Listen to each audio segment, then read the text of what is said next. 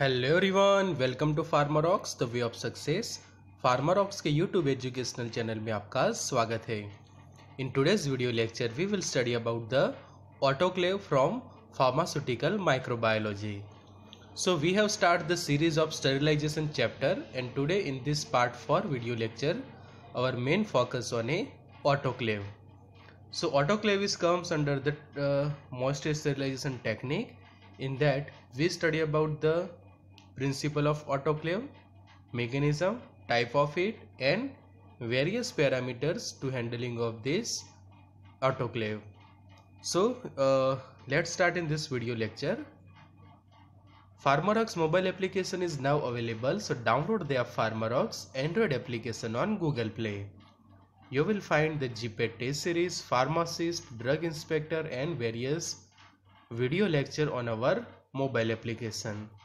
Pharmarox study materials are also available so download the Pharmarox Android application on Google Play. So sterilization in that we are covering the various techniques of sterilization in that we are uh, now discussing about the physical techniques so part one video lecture में हमने uh, का पूरा introduction basics concept सीखे थे part two में हमने पढ़ा regarding the dry heat sterilization part three में हमने मॉइस्चर स्टेरिलाइजेशन की जितनी भी टेक्निक्स है वो सब पढ़ाई की और पार्ट फॉर में जो अबव हंड्रेड डिग्री सेल्सियस वाली जो टेक्निक है मॉइस्ट स्टेरिलाइजेशन की, कि जिसको हम कहते हैं बाय यूजिंग द ऑटोक्लेव तो वो कवर करने वाले हैं in this video lecture so sterilization के अंदर आज का हमारा जो टॉपिक है वो आएगा ये स्टीम अंडर द प्रेशर की जो है ऑटोक्लेव पार्ट टू में हमने पास्चुराइजेशन पढ़ा vaccine bath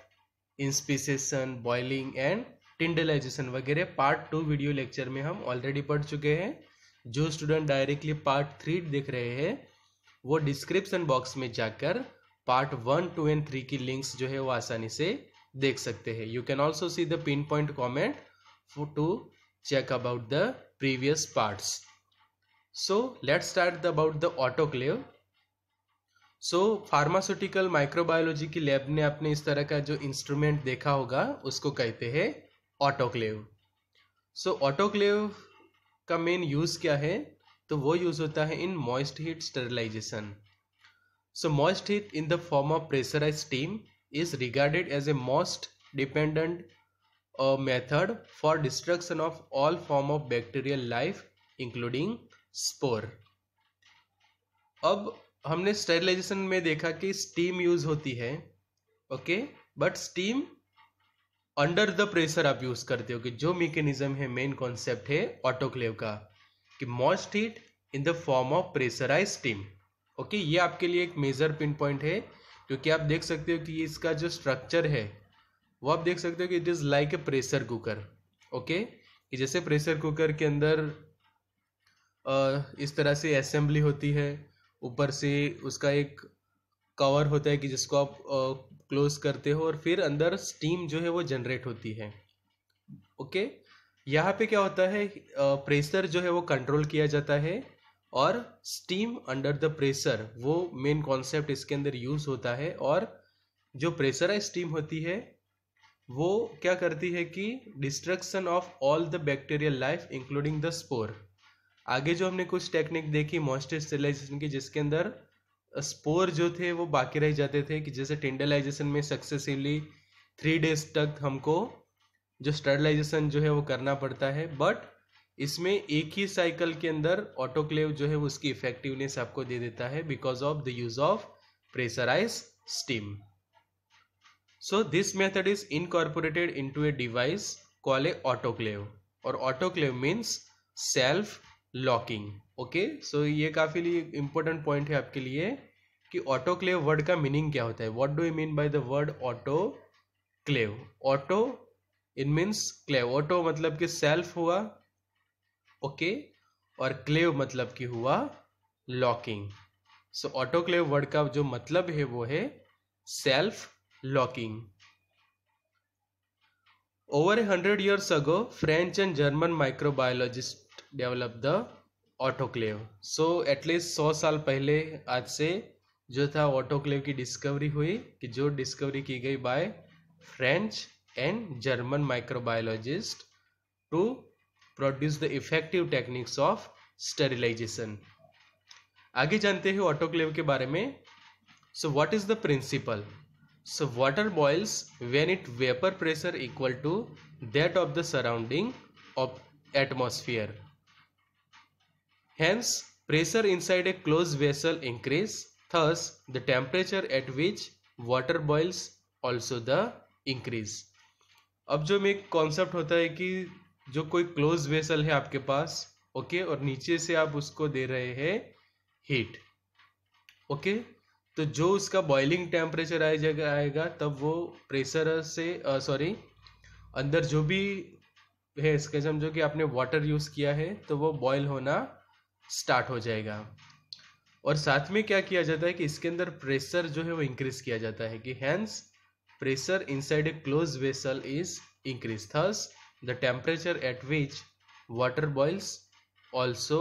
increase अब टेम्परेचर भी इंक्रीज होता जाएगा और साथ में इंक्रीज होता जाएगा प्रेशर बट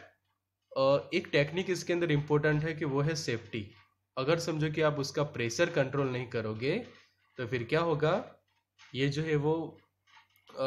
असेंबली जो भी आपने डिज़ाइन की है, वो ब्रेक होने के चांसेस है due to the increase of lots of pressure inside that vessel so उसके लिए सेफ्टी फीचर्स भी रखे होते हैं कि saturated steam has a high penetration power when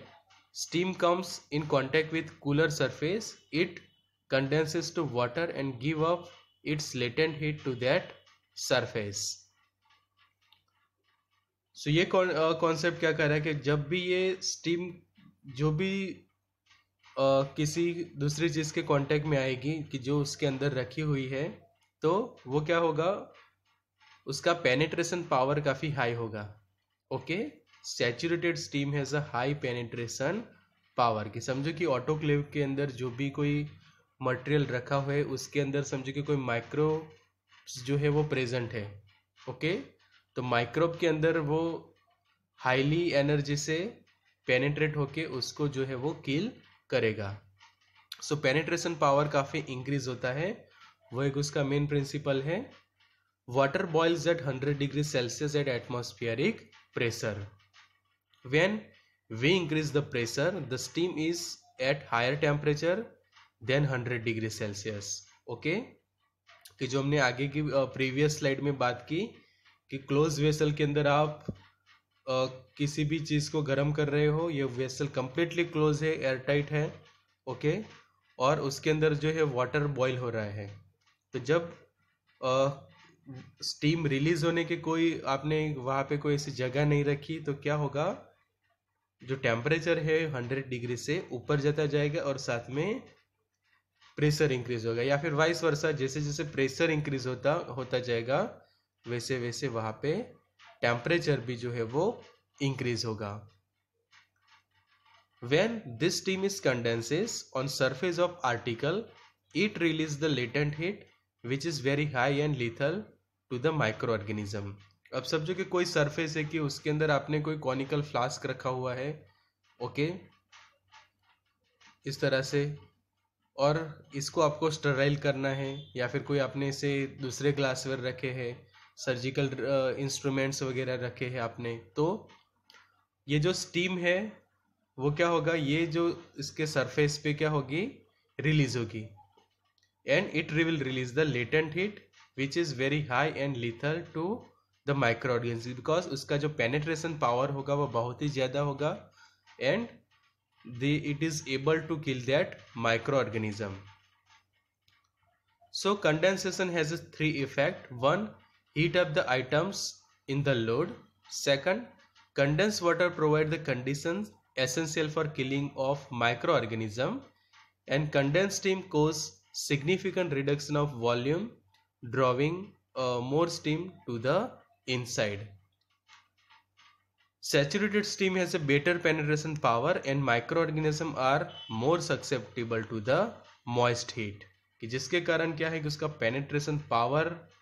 increase होता है कि जो स्टीम है अंडर द प्रेशर है जितनी प्रेशर है स्टीम होगी, उसका जो पेनिट्रेशन पावर जो है वो काफ़ी इंक्रीज हो गया जैसे कि पुराने ज़माने में स्टीम इंजिन्स हुआ करते थे कि जो वाटर की जो स्टीम होती थी, वो स्टीम को यूज़ करके पूरे जो ट्रेन वगैरह जो चलती थी बिकॉज़ ऑफ़ द पावर कि जो प्रेशराइज स्टीम जितना प्रेशर करती थी, उससे जो थे वो ट्रेन इजीली चल जाती थी। सेम लाइक दैट यहाँ पे जो प्रेशराइज स्ट्रीम है, उसका पेनिट्रेशन पावर इतना ज़्यादा है कि वो उसके अंदर प्रेजेंट माइक्रो ऑर्गेनिज्म को इजीली जो है वो किल करेगी। So for effective sterilization steam should be saturated dry and pure ये तीन मेन कंडीशन आपको फुलफिल करनी है। तो ये आपके लिए बन सकता है एक इम्पोर्टेंट मल्टीपल चॉइस क्वेश्चन कि for effective sterilization steam should be ये तीन ऑप्शन दिए हैं और चौथा ऑप्शन दिया है आपको समझो कि all of the above okay so in that condition you have to choose the fourth option all of the above या फिर ये तीन आपको याद रखने हैं कि कोई चौथा ऐसा ऑप्शन लग के लिखा है कि for effective sterilization steam should be all of the above except तो वो जो एक्सेप्शन जो होगा वो आपको फाइंड आउट करना होगा। So pressure temperature ratio should be maintain to maintain the efficiency इसीलिए जो ऑटोक्लेव होता है, उसके अंदर तीन कंडीशन में होती है एक तो प्रेशर उसका टेम्परेचर ओके और दूसरा होता है उसका टाइम कि ये तीनों को अच्छे से कॉम्बिनेशन में आप यूज़ करके कोई भी माइक्रो ऑर्गेनिज्म को इजीली किल से कर सकते हैं बाय यूजिंग दिस ऑटोक्लेव और उसकी एफिशिएंसी भी काफ़ी इंक्रीज होती है of this technique to sterilization so the large reduction in volume sucks in the more steam to the area and process continues till the temperature of the surface is raise to that of the steam condense water ensure moist condition for killing the microbes present and it is called a latent heat effect. तो questions uh, पूछा जा सकता है multiple choice question में कि which effective necessary to kill the micro organism to sterile by using the autoclave तो it is a latent heat effect so ये था regarding the principle of the autoclave so what are the components okay components क्या होता है? Autoclave बना कैसे होता है? क्या क्या उसके अंदर अलग अलग कंपोनेंट्स फिट किए होते हैं? तो इट कंसिस्ट ऑफ़ वर्टिकल और horizontal cylinder of gun metal और स्टेनलेस स्टील ओके कि जो हाईली प्रेशर को टॉलरेट कर सके, ऐसा आपको मटेरियल यूज़ करना है like stainless steel and gun metal okay कि इस तरह से प्रॉपर उसकी असेंबली आप उसको क्लोज करो ओके एंड ये जो वर्टिकल या फिर हॉरिजॉन्टल इस तरह का पूरा एक वेसल होता है। Lid is fasten by screw clamps and rendered air tight by asbestos washer okay जो आप ऊपर की ओर देख सकते हो कि ये वेसल है और उसकी ये जो लीड है, कि ऊपर से जो ऑटोक्लेव को आप बंद करते हो ओके? तो lid is fasten by screw clamps okay ये जो देख सकते हो, ये स्क्रू क्लैम्प्स है and rendered air tight by asbestos washer कि एस्बेस्टोस वॉशर को यूज़ करके वो कंप्लीटली एयर टाइट किया जाता है। Lid bears a discharge tap for air and steam pressure gauge and safety valve okay ये लीड बियर से discharge tap for air and steam pressure gauge and safety valve की। जो safety वाल से फिर प्रेशर गेज है वगैरह जो है वो ऊपर की ओर जो लीड में है। जैसे आप नॉर्मल प्रेशर कुकर के अंदर उससे तो उसकी जो लीड होती है वहीं पे वो आ, उस उसका सेफ्टी वाल होता है डिस्चार्ज होता है। तो same like that in this autoclave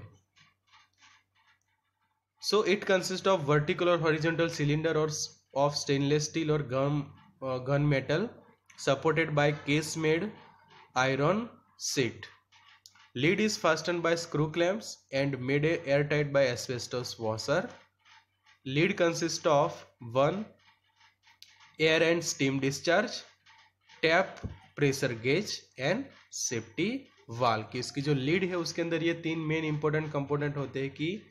air and steam discharge tap pressure gauge and safety valve की ये तीनों कंपोनेंट काफ़ी एसेंशियल है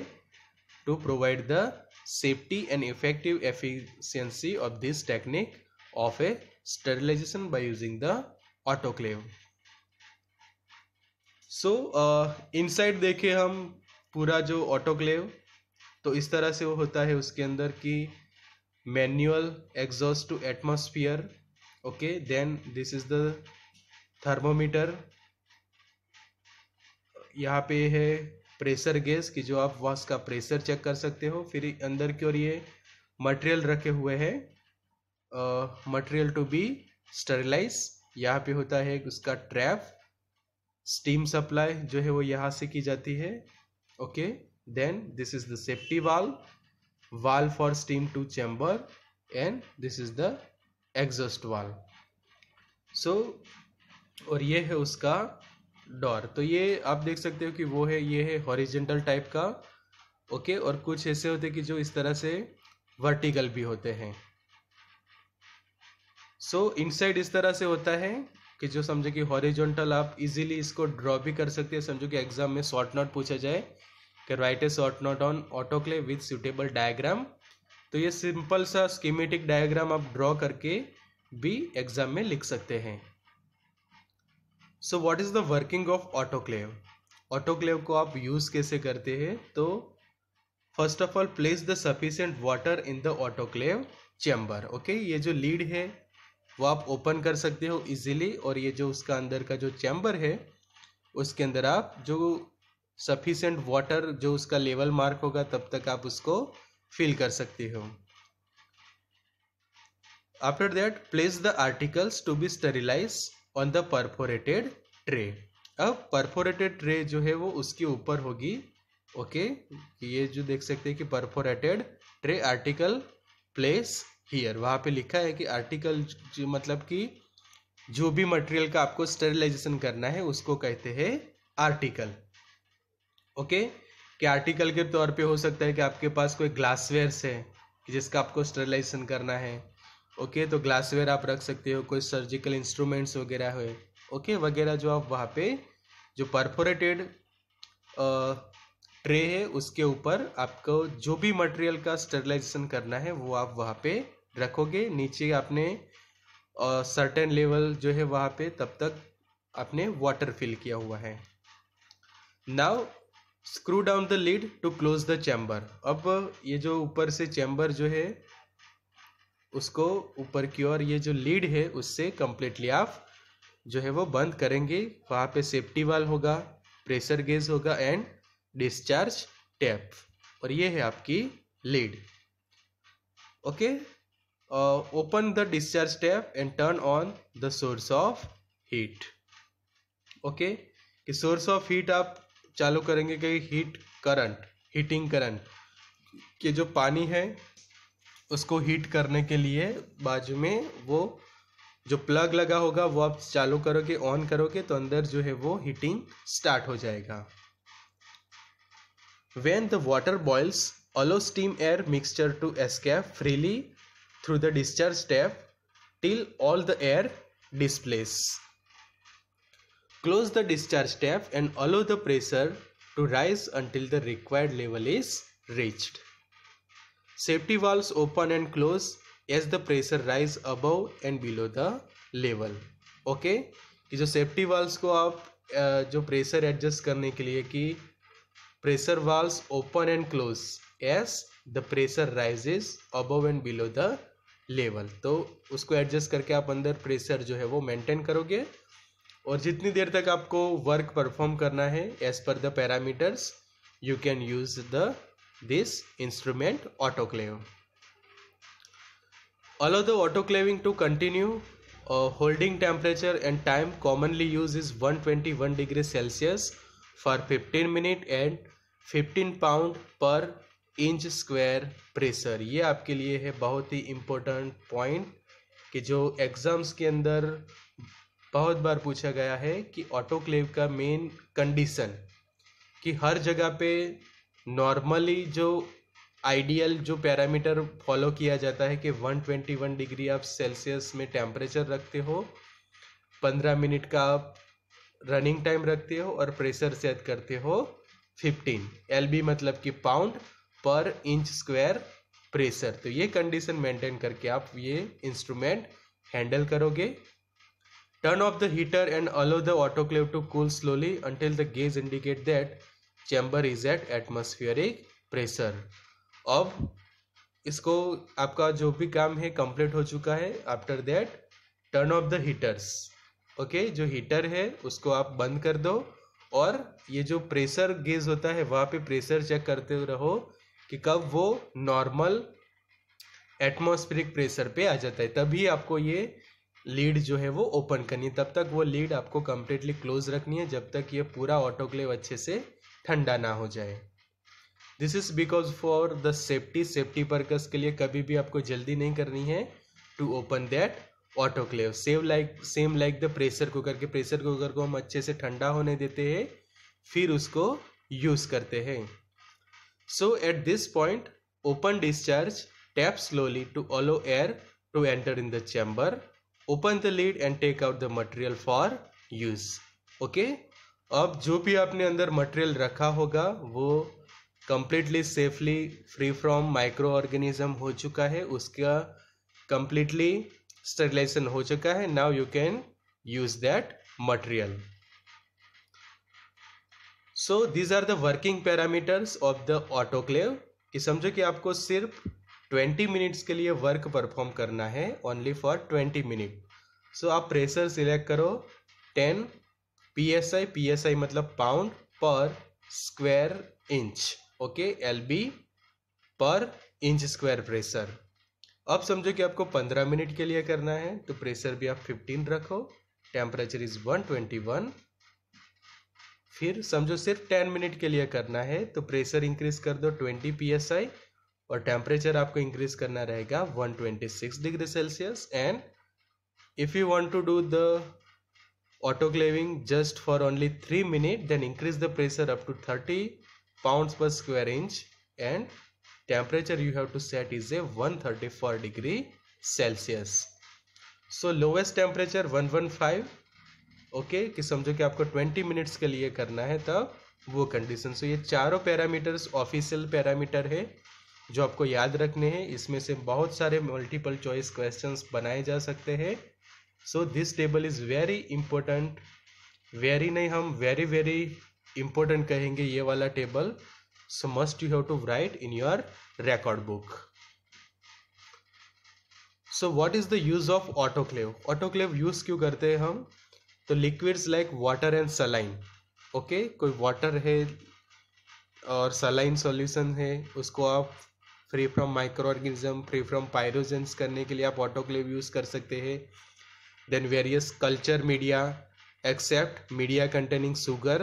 blood and serum ये तीन के अलावा जितने भी आपके जो न्यूट्रिशन अगार मीडिया है, उसको स्टराइल करने के लिए ऑटोक्लेव यूज़ कर सकते हैं। Then dressing instrument and lab wares यहाँ पे आप देख सकते हो, ये वाले कि जो ड्रेसिंग के लिए अलग अलग इंस्ट्रूमेंट और जो लैब वेयर्स होते हैं ओके ये जो ग्लास वेयर्स भी आप यूज़ करते हैं, वो सर्जिकल ड्रेसिंग्स वगैरह इससे स्टरलाइज किए जाते हैं। Pharmaceutical products rubber treats and for disposal of culture कि कल्चर को डिस्पोज करना है तो इससे पहले आप उसको स्टराइल करके आप उसको डिस्पोजल करोगे। So these are the important uses of autoclave न वॉट आर द लिमिटेशंस तो insufficient air discharge result in incomplete sterilization okay ये एक आपकी लिमिटेशन है. No facility for drying the load after sterilization drying का ऐसा कोई नहीं है कि अंदर कोई हॉट एयर आती हो कि जिससे आप आपका जो भी मटेरियल है, आपके जो भी आर्टिकल्स थे उसको ड्राई कर सको. Heat labile substance can not be sterilize कि जो थर्मोलेबाइल है हीट सेंसिटिव मटेरियल है, उसको आप ये टेक्निक से स्टेरिलाइज नहीं कर सकते। ओके बिकॉज़ टेम्परेचर राइज होता है, कि जिसके कारण जो भी आर्टिकल है, उसका डिकम्पोजिशन या फिर डिग्रीडेशन होने के चांसेस है due to the increase of one parameter that is a temperature okay so this are the limitations of autoclave so what are the types of autoclave ये है आपके लिए अब एक और मल्टीपल चॉइस क्वेश्चंस का खजाना कि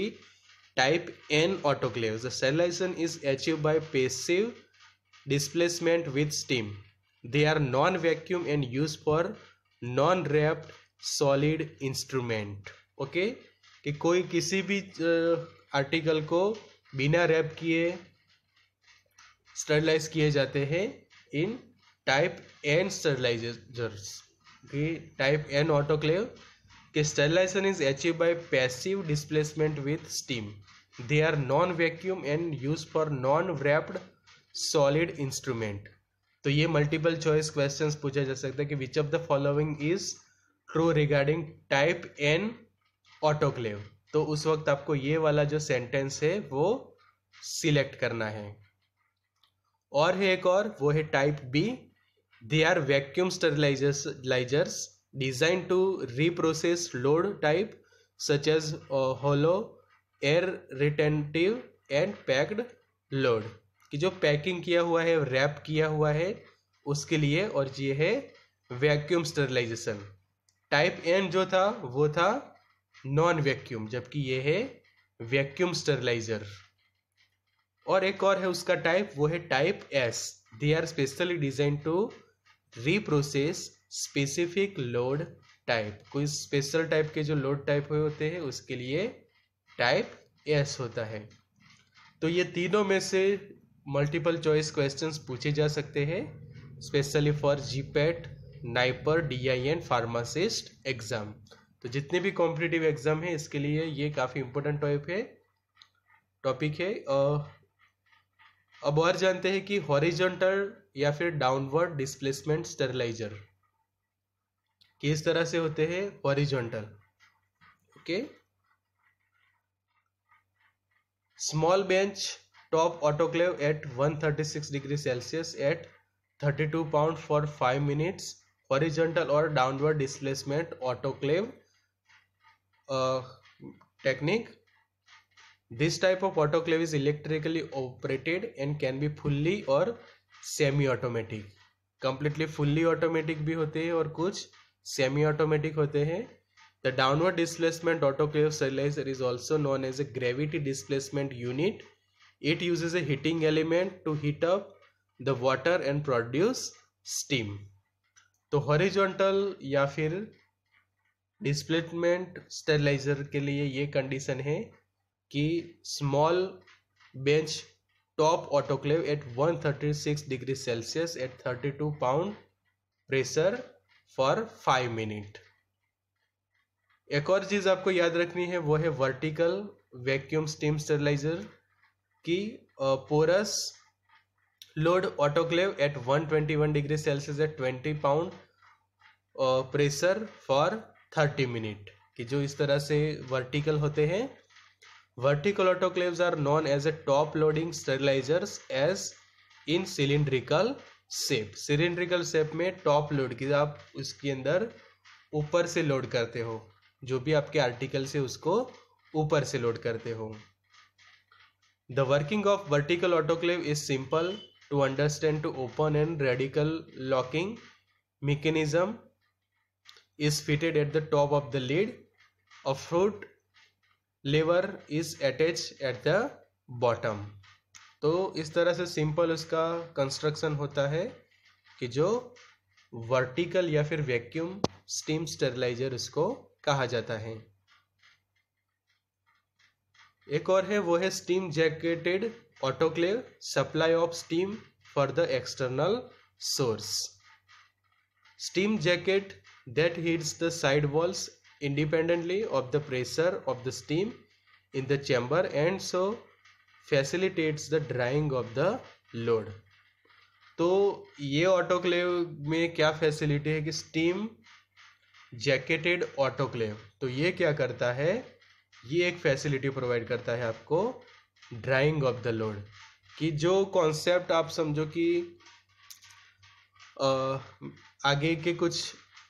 ऑटोक्लेव्स के अंदर मिसिंग था ओके कि उसके अंदर ड्राइंग की कोई फैसिलिटी अवेलेबल नहीं थी। ये फैसिलिटी इसके अंदर अवेलेबल है कि steam jacket that hits the side walls independently of the presence of steam in the chamber and so facilitates drying of the load कि जो अंदर लोड है उसको ड्राई करने में वो हेल्प करेगा। So what is the mechanism of actions कि कौन से मेकेनिज़्म पे ये काम करता है? तो हमने प्रिंसिपल में देखा कि जो प्रेशराइज स्ट्रीम स्टीम थी, ओके? हाईली प्रेशराइज स्टीम कि उसका क्या ज़्यादा था? Penetration power okay? कि उसका जो पेनिट्रेशन पावर इंक्रीज होता था, वो क्या करेगा? Denaturate and coagulate the protein of a microbes okay? कि जो हाईली प्रेशराइज स्टीम थी, उसका जो पेनिट्रेशन पावर जो था, वो इतना इतना सारा हाई था पेनिट्रेशन पावर कि वो क्या कर देता है? एक तो protein denaturation and protein coagulation of a microbes higher efficiency of penetration and faster microcidal action then dry heat dry heat के कंपैरिजन में ड्राई हीट क्या करता था सिर्फ़? डीनेचुरेट करता था प्रोटीन को। जबकि ये टेक्निक के अंदर कोएगुलेशन भी हो जाता है, जिसके कारण जो स्पोर होते हैं, वो कई बार बच जाते हैं, या फिर जो हीट टॉलरेट करने वाले माइक्रोब्स भी बच जाते हैं कि जो ड्राई हीट के अंदर spore as well as heat को टॉलरेट करने वाले जो माइक्रोब्स थे, वो इजीली सरवाइव हो जाते थे, वो यहाँ पे नहीं हो गए उनका हंड्रेड परसेंट जो है वो इफेक्टिवनेस रहेगा of this technique moist heat penetrates the material much more rapidly than dry heat because water molecules conduct heat better than air okay कि एयर के कंपेयर में जो वाटर मॉलिक्यूल्स थे वो ज़्यादा हीट जो है वो प्रोड्यूस करते हैं। Okay that's why this is the most effective technique of a sterilization okay most effective कि जिसका पेनिट्रेशन पावर काफ़ी हाई है माइक्रोसीडल एक्शन है as compare to the dry heat higher efficiency जो आप कह सकते हो, और ये आपके लिए है पिन पॉइंट कि जो हमने ऑलरेडी आपको अंडरलाइन करके ग्रीन कलर में दिखाया है। अब स्टेरिलाइजेशन की मॉनिटरिंग अब ऑटोक्लेव ने उसका काम तो कर दिया बट कैसा काम किया है? वो तो चेक करना रहा कि वो उसकी इफेक्टिवनेस या फिर एफिशिएंसी प्रोवाइड करता है या नहीं। तो वो है एक प्रकार की हम कह सकते हैं सिटी कि जो केमिस्ट्री में आप कन्फर्मेटिव टेस्ट करते हो, इस तरह से ये माइक्रोबायोलॉजी का है स्टरलाइजेशन मॉनिटरिंग कन्फर्मेटिव टेस्ट है। तो एक है physical control by recording thermometer produce a graphic time record of change in temperature thermocouples are use device that detect the heating of time required कि जो अंदर थर्मोमीटर सेट होते, कि जो फ़िज़िकल कंट्रोल से आप पता लगा सकते हो कि उसके अंदर टेम्परेचर इंक्रीज हो रहा है या नहीं। ओके तो वो होता है by recording by using the thermometer a device that can detect the heating of time required second है केमिकल कंट्रोल तो उसके अंदर ब्राउनिस कंट्रोल ट्यूब की जो टाइप ट्यूब है, वो यूज़ होती है सोस change in colour from red to green जिसको कहा जाता है बोविडिक टैफ कि जो हम आगे देखते हैं कि इससे क्या पता चलता है कि जो कलर इंडिकेटर्स की हम जो बात करते हैं स्टेरिलाइजेशन मॉनिटरिंग के अंदर तो so change in colour from red to green Bowie Dick tape and Browne's control tube type two is use in this chemical control third thing is a biological control by using the Bacillus stearothermophilus microorganism उसको use करके भी आप कितना effective है वो check करते हैं। अब कैसे होता है वो हम देखते हैं। ये है बोविडिक टैप ओके इस तरह की ये जो टैप्स होती है बोविडिक टैप्स आप लगा ये देख सकते हो ओके इससे भी पता चलता है कि किस टाइप का स्टरलाइजेशन हुआ है या नहीं हुआ है। So biological indicators spore of Bacillus stearothermophilus thermophilic organism with a growth of 55 to 60 degrees celsius its spores its spores require exposure of 12 minutes at 121 degree celsius to be sterilized तो उसको use किया जाता है इसके अंदर sterility control के अंदर के सबसे पहले कि cap that allow the steam to penetrate इसे कैप बनाई जाती है एक असेंबली एंडोस्पोर स्ट्रिप है आपके पास nutrient medium containing pH colour indicator crushable glass ampoule है and flexible plastic vial okay इस तरह से आपने एक प्लास्टिक वायल यूज़ किया है। फिर से एक बार आप देखो कि this is your flexible plastic vial कि जो जैसे ही प्रेशर इंक्रीज होगा, ये प्लास्टिक वायल है, वो ब्रेक हो जाएगा। उसके बाद है अंदर क्रसेबल, ग्लास, एम्प्यूल की जो क्रस हो सकती है। देन उसके अंदर आपने जो रेड कलर का है वो है nutrient medium containing pH colour indicator. This is the endospore strip and ऊपर की ओर ये कैप है वायल की कि जो है स्टीम को अलो करोगी टू पेनेट्रेट द इनसाइड अब क्या होगा वो देखो आप सेकंड डायग्राम के अंदर। कि इस तरह का होगा क्रसेबल ग्लास एम्प्यूल हमने यूज़ किया, इसलिए इस तरह से उसका क्रस होना तो जायज़ है कि जब हम उसको इंक्यूबेट करते हैं। After autoclaving flexible vial is squeeze to break ampoule and release the medium into spore strip कि जो स्पोर स्ट्रिप आपने रखा है, वहाँ पे ये जो वायल के अंदर ये जो आपकी ग्लास ट्यूब थी ग्लास एम्प्यूल वो ब्रेक होने के कारण वो मटेरियल जो है वो बाहर आ जाएगा। ओके अब क्या होता है आगे? कि समझो कि yellow medium means spores are viable autoclave objects are not sterilize कि जो आपका ऑब्जेक्ट था आर्टिकल था, वो स्टेरिलाइज नहीं हुआ है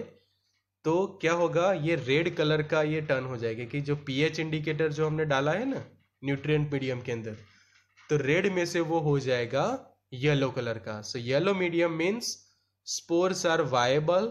autoclave object are not sterile और एक और दूसरी कंडीशन रहेगी कि समझो कि red medium means spore were killed autoclave object are sterile तो ये है आपका प्राइमरी उसको बार इंक्यूबेट किया तो उसकी दो कंडीशन बनेगी, एक है yellow and second is red इस तरह से होता है? स्टरलेटिक कंट्रोल इन ए ऑटोक्लेव कि एक इस तरह से आप एग्ज़ाम के अंदर भी लिख सकते हो कि समझो कि शॉर्ट नोट पूछा जाए regarding sterility control in autoclave so what are the advantages of this autoclave the time efficient technique is this good penetration of fabric and paper wrapping effective against spores sterilize water based liquid an irrigating solution in standard cycle तो ये काफ़ी सारे उसके benefit है कि time efficient कि आप पंद्रह मिनट के लिए भी करोगे? फिफ्टीन पाउंड प्रेशर से one twenty one degree Celsius से तो भी ये इजीली आपको हंड्रेड परसेंट एफिशिएंसी देगा। पेनिट्रेशन पावर काफ़ी हाई है। इफ़ेक्टिव अगेंस्ट स्पोर ये जो ड्राई हिट का ये डिसएडवांटेज था कि स्पोर को किल नहीं करता, वो यहाँ पे हो गया advantage sterilize water based liquid, irrigating solutions in standard cycles. अब एडवांटेज होते हैं तो साइड में दूसरी साइड उसके disadvantage causes rust and corrosion of non stainless steel instrument carbide burs कि जो कार्बाइड बर्स इरोजन जो हम बोलते हैं कोरोजन जो बोलते हैं मेटल्स का वो होने के चांसेस है damage to plastic and rubbers dulls unprotected cutting edges and items में भी वेट आफ्टर द साइकिल जो हमने बात की कि जो ड्राइंग का ऐसी कोई फैसिलिटी नहीं अवेलेबल होती except steam jacketed steam jacketed के सिवाय जितने भी अदर ऑटोक्लेव्स है, उसके अंदर कोई ड्राइंग का साइकिल नहीं है जिसके कारण जो आपको मटेरियल मिलता है आइटम्स मिलते हैं वो होती है वेट सो so, पूरा हमने डिटेल में पढ़ लिया regarding the autoclave deposits with the use of hard water तो ये पूरा कंप्लीट किया हमने ऑटोक्लेव अब आगे बढ़ेंगे हमारा पार्ट फाइव वीडियो लेक्चर की ओर कि जिसके अंदर हम पढ़ेंगे फिल्ट्रेशन स्टेरिलाइजेशन की स्टेरिलाइजेशन एक काफ़ी वाइड टेक्निक है। तो नेक्स्ट टॉपिक रहेगा हमारा, वो है रिगार्डिंग द फिल्ट्रेशन स्टेरिलाइजेशन कि जब हम फिल्ट्रेशन टेक्निक यूज़ करते हैं, कि उसके अंदर वेरियस फिल्टर्स यूज़ करते हैं अलग अलग फिल्टर्स की पोर साइज़ रहती है like HEPA filters membrane filters candle filters okay इस तरह से स्टेरलाइज फ्लास्क होते हैं to vacuum pump filter filter vessel कि जो नॉर्मल आप फिल्ट्रेशन करते हो बट यहाँ पे आप फिल्ट्रेट करोगे माइक्रो ऑर्गेनिज्म को। तो काफ़ी इंपॉर्टेंट रहेगा और काफ़ी इंटरेस्टिंग लेक्चर रहेगा part five so we will surely update in next part tomorrow in the Pharmarocks YouTube channel so subscribe the channel for such more pharma educational videos also get seven hundred plus video lectures on Pharmarocks mobile application Android application on Google Play You will find the test series, study materials and video lectures on mobile app. So download the Pharmarox Android application on Google Play. For more details, contact on 9016312020.